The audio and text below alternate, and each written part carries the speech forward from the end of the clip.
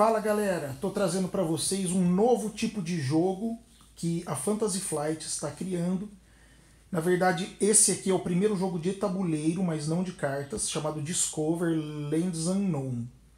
Esse jogo, ele trata-se de um jogo chamado Unique Games, ou Jogos Únicos. Ele tem um conceito bem interessante. Esse jogo por si só já é um conceito interessante, já é um jogo bem interessante. Ele é um jogo de sobrevivência, que está bem na moda. Você está vendo as peças aqui, existem personagens que são sobreviventes em um terreno selvagem. E aí você vai explorando esse terreno e tentando sobreviver e vou retornar para a civilização. Mecânicas interessantes, padrão Fantasy Flight. Agora, do que se trata os jogos únicos? Os jogos únicos eles são interessantes no seguinte sentido. Cada caixa que você comprar, se você for na loja lá e comprar 10 caixas, as 10 caixas por dentro são diferentes. Não existem dois jogos iguais.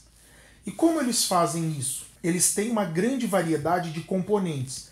Por exemplo, cada caixa vai vir com aventuras diferentes. Então eles têm diversos pools de aventura. Por exemplo, digamos que eles criaram 100 aventuras diferentes, vai vir 5 em cada caixa sorteada. Não só isso.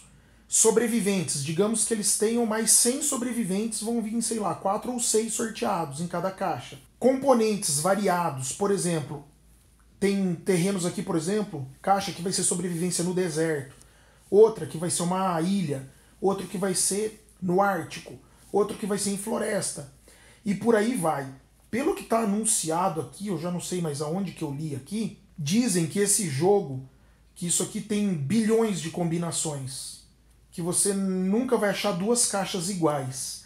Ele está previsto para o final desse ano, conceito muito interessante mesmo, e agora a gente vai ver vários jogos. Na verdade, o primeiro jogo com esse conceito que a Fantasy Flight já lançou se chama Keyforge, que é um jogo de cartas. Deixa eu entrar aqui para a gente ver. O Keyforge é este jogo aqui, olha, de cartas que também é um unique game. E a gente sabe que a Fantasy Flight ela sempre inova com essas coisas. Aqui, o Keyforge, olha que legal. Então no Keyforge é só de carta, né? Então você vai ter várias combinações e decks de cartas diferentes em cada caixa, mas o jogo é completo, você não precisa comprar mais de um jogo. Olha só aqui, ó, eles calcularam o Keyforge 104 quadrilhões de decks possíveis. Olha só isso, que coisa absurda.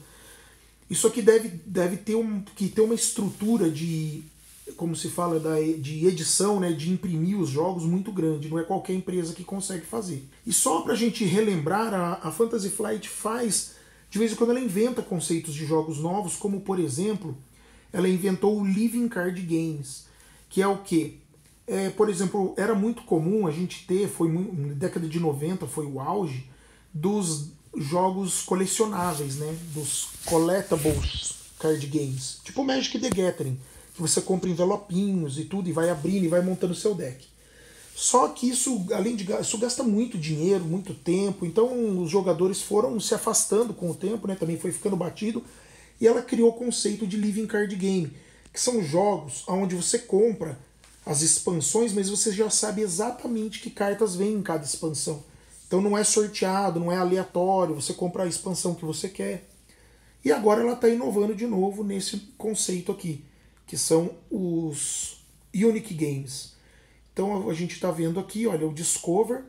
Fiquei bastante interessado porque eu gosto de ambientes de sobrevivência, de jogos de sobrevivência. Ah, aqui está falando, olha que legal aqui, ó. São ah, o que, que eles misturam? Os ambientes os personagens, as histórias, itens diversos que você vai encontrar e os inimigos. Então é um pool muito grande de variedade de peças que vão vir diferentes em cada caixa. Então você pode comprar um jogo desse, você ter uma experiência completamente diferente, pelo menos bem diferente, do seu amigo que compra uma outra caixa. Você pode comprar uma caixa que vem certos sobreviventes para sobreviver no Ártico com determinados itens e inimigos, e o seu amigo vai tirar um deserto com sobreviventes diferentes, outros inimigos, outros itens e por aí vai. Então é isso aí, pessoal. Vamos acompanhar, vamos ver o que, que é que a gente vai descobrir se esse jogo realmente depois é muito bom mesmo. A gente vai ver aqui. É isso aí, pessoal. Um abraço para todo mundo.